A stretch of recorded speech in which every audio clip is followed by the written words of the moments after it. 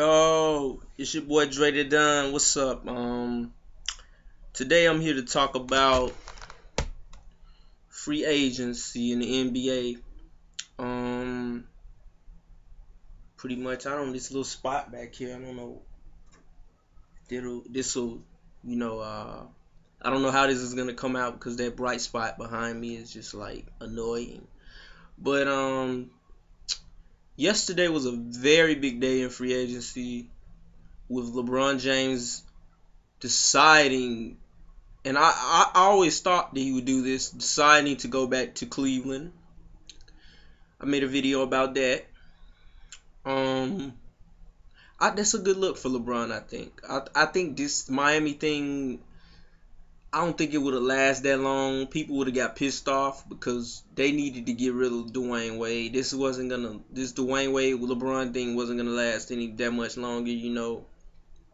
Um but um the next player to make his decision was the big the other big guy next to LeBron was Carmelo, big guy. Um he decided to stay in New York. Um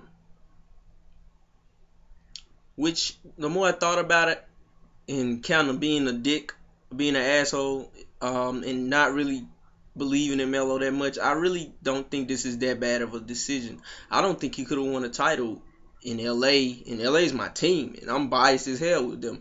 I don't think he could have won a, title in Houston, and I really, and people might say, eh, I don't think he could have won a title in Chicago.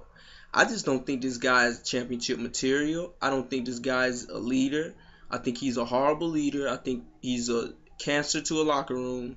I've been saying this about Carmelo for about three, four years. He's just not that player. He's just not. He's a can't. He's just. He's like Charles Barkley of this generation. You know, he's just not as dominant as Charles. But he just doesn't impress me at all. He's a great scorer, but what else can you say about him that he does great? Great players, you can say Michael, Jordan, or Kobe, or LeBron. You can say Kobe, Michael, LeBron. They're great scorers. They're great defenders. They're great leaders. They're great motivators. They're great. Um, anything like a lot of things. They got that fire. Anything. Melo, you just say he's a great scorer. That's all. Even Paul George, people like Paul George say he's a good scorer. He can play defense. He can he can he can he can guard the the best player on the team. He's a great perimeter player. He can make shots for other people. Like you can say a lot of things about Paul George. He just came in the fucking league. And I personally, I um, I think B, I think Nick, Coach Nick from B-Ball Breakdown made a video. Is I think the video was titled "Is Carmelo Worth the Money?" And he had some valid points. He said, "Hey, I think Melo's the the fifth best small forward in the NBA." And I said, "Hey." I said I might not 100% agree with that. I can see it though. He said I'd pick Paul George and Kawhi Leonard over over Melo. I said I don't know about. I said I kind of would if you talking about the next five years. I I would. Cause um and we don't know how much Melo has left, and that was his prime. And the Knicks couldn't make the playoffs, and they're not gonna have Tyson Chandler this year, next year. I mean, I mean, I just don't think he's is. I just don't think he's as good as LeBron. He's no, I. That's a fucking proven fact. He ain't good as LeBron, but. And also, let me get off Melo, man. Um, also, former Laker Paul, Pau Gasol made his choice, and he's gonna go to the Chicago Bulls. I guess that as I think that's kind of a plan B. I think they were depending on getting Melo and Gasol. I think Dwyane Wade will be their plan B. I think um Gasol will make a good fit with the Bulls. I don't think he's gonna change anything. Like he's not gonna change anything big. You know, he, he'll make a good fit with them. Um, we'll see how that works out though with him and Noah. I Noah played good with Boozer though. You know, that was a good. I, and Gasol and Noah are two different type of players. You know, um, Noah they're two different type of players. They can play good. Noah played with Horford in, in college at Florida. I mean, they, they can make it work. I think Gasol and they can make it work, and I think Gasol's kind of insurance for Der- Derrick Rose because Derrick Rose, I just don't know. I don't know. Like Derrick Rose needs to watch a lot of John Wall footage. He needs to watch John. I think John Wall's like an inch taller than Derrick Rose. Um, I think he needs to watch a lot of John Wall footage and just try to be John Wall. Just try to be a more a more a more aggressive John Wall. You know, he's not as good as, as he's not as good as of a shooter as John Wall. He can get to the basket better than John Wall though. Um, he needs to be like more like John Wall. Derrick Rose should watch John Wall's footage and try to be more like him and get people the ball and facilitate more. Um, because him going in and trying to get 29, 30 every night, driving in, and he needs to get a shot, jump shot together too. He can't be just driving in and bouncing on that on those knees like that, man. He is not gonna last that long. And even Dwyane Wade developed a mid-range jump shot. That's why he was able to, you know, not get completely hurt, completely injured, you know. But um, there are a couple other guys who are free agents. I think Luol Deng. A lot of teams are looking at him. Um, Eric Bledsoe's the big free agent. The Lakers signed back a lot of people that they had last year. Well, not a lot, but they, they spent pretty much lot, most of their money on on the people last year, which kind of pissed me off. Um, Wade's still out there. Um, Miami should get him back, but I wouldn't be surprised if he just said, you know what, it was a good run. He it would be fucked up if he did that, you know, because they I don't it wouldn't I don't know I don't know if it would be disloyal because Paul Pierce left the Celtics. If Paul Pierce can lead the Celtics, anybody can lead. Um. So Wade left, I wouldn't be mad at him, but I think other people, Miami Heat fans, would. Um, you got Eric Bledsoe. I just wish I wish some kind of way the Lakers can get rid of Steve Nash's contract and pull in Bledsoe some type of way. I think they can. I, I'm pretty sure they can if they because they already have like what I don't know how much they have left on the cap now, but I think if they get rid of Nash's contract, they would definitely have enough for Bledsoe. Um, Luol Deng, another great player. I think the I think the the Heat are looking to get him. I think he'll probably end up with the Heat. You know. You got Greg Monroe, another another player. You know, he's another great player. Um, looking at my phone, yo. He's another great player. Um, not great player, but he's a good player.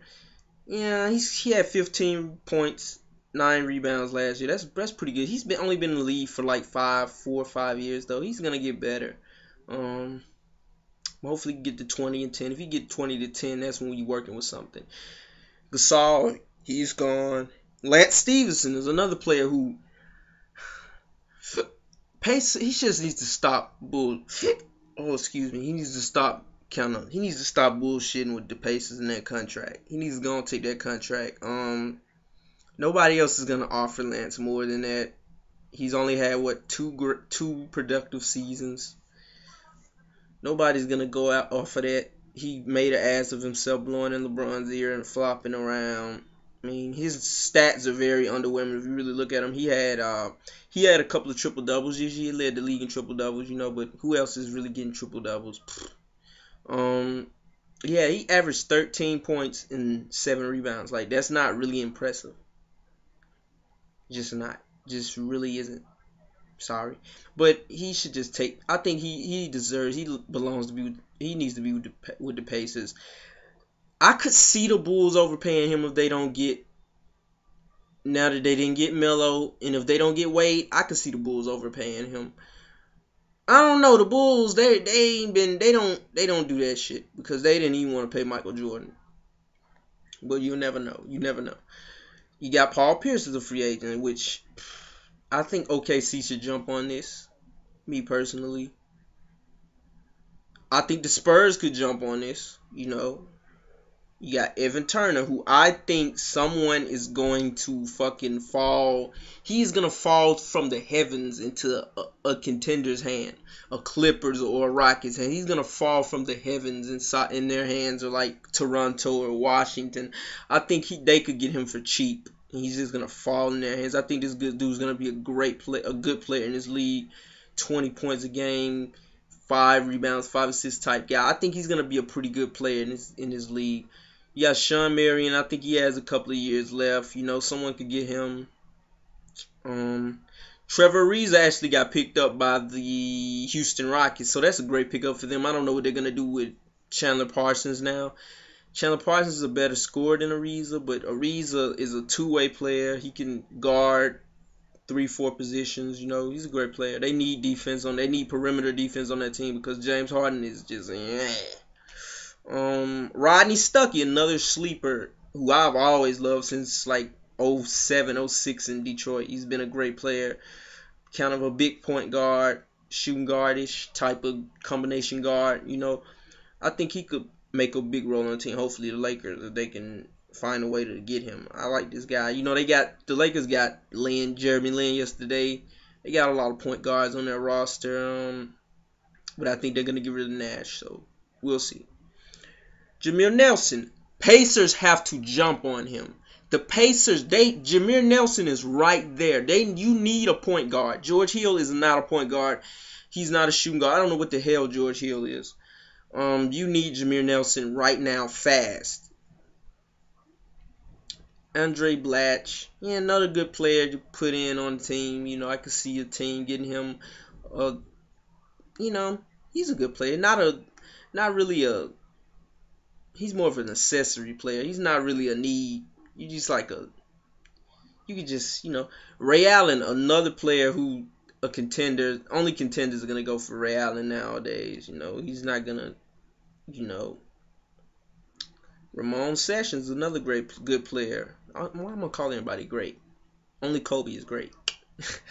Why am I calling? Um, Ramon Sessions, another good player, another good point guard. Mm, I like Ramon Sessions. I always liked him, even though he was with the Lakers and didn't do shit against the Thunder in that series. Um, Marvin Williams, washed up. Ed Davis, yeah. Kirk Hinrich, meh. Jerryd Bayless. Yeah.